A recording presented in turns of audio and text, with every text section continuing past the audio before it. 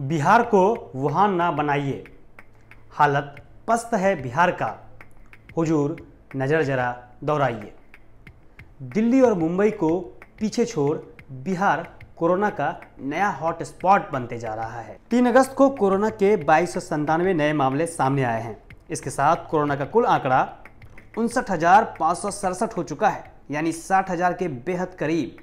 दिनों दिन बढ़ते इस आंकड़े में एक खास बात है। और वो ये कि महाराष्ट्र और दिल्ली जैसे हॉट स्पॉट में जहाँ कोरोना के मामले घट रहे हैं वहीं बिहार में ये तेज़ी से बढ़ रहे हैं।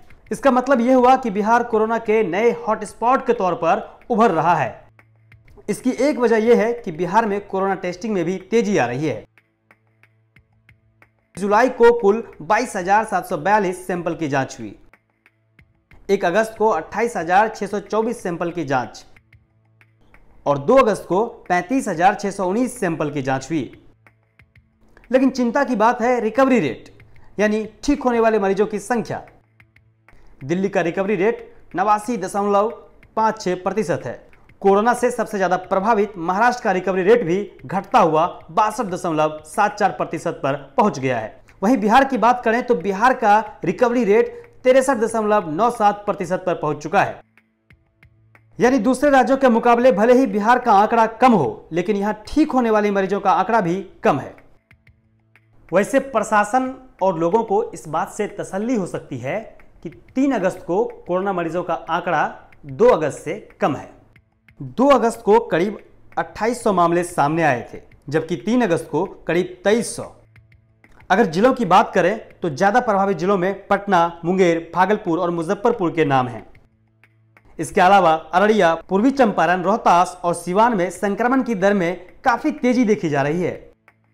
पटना में कोरोना से मृतकों का आंकड़ा भी सबसे ज़्यादा है।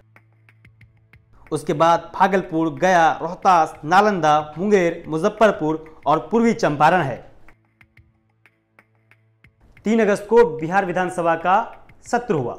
ये एक दिवसीय सत्र था और इस सरकार के कार्यकाल का आखिरी सत्र था, जिसमें तेजस्वी यादव सरकार को घेरने में नहीं चुके। उन्होंने कोरोना पर सरकार पर बड़ा आरोप लगाया है। उनकी पार्टी आरजेडी ने आरोप लगाया है कि सरकार कोरोना टेस्ट के आंकड़ों में हेराफेरी कर रही है। सत्र शुरू होने से पहले तेजस्वी ने ट्वीट किया, बिहार सरकार कोरोना जाँच में आंकड़ों का खतरनाक गेम खेल रही है। लगभग पाँच महीने बाद भी अब टेस्ट संख्या बढ़ाने के लिए ये एंटीजेन टेस्ट बढ़ा रहे हैं और आरटीपीसीआर टेस्ट नाम मात्र के कर रहे हैं, फिर आगाह कर रहे हैं। कि अपनी विफलताएँ छिपाने के लिए लोगों की जान के साथ मत खेलिए।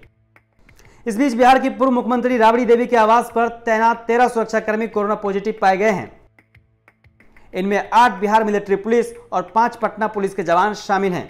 सभी को क्वारंटाइन कर दिया गया है। कोरोना से सीपीआई के राज्य सचिव सत्यनारायण सिंह का रविवार की देर रात पटना एम्स में मौत हो गई। जेडीयू के राज्यसभा सदस्य आरसीपी सिंह, लालू प्रसाद यादव के समधि चंद्रिका राय, जेडीयू विधायक लल्लन पासवान, आरजेडी नेता रघुवंश प्रसाद सिंह सड़ीखे नेता पटना के डीएम कुमार रवि जैसे अधिकारी भी कोरोना की चपेट में आ चुके हैं। वीआईपी लोगों की बात तो खैर अलग है, लेकिन आप लोगों से मेरा यही कहना है कि महाराज, बच के रहिए। सोशल डिस्टेंस को मेंटेन नहीं कीजिएगा, मास्क नहीं लगाइएगा तो बहुत भारी पड़ जाएगा। आप देख रहे हैं बिहार तक और मैं हूँ आपके साथ अक्षय कुमार सिंह।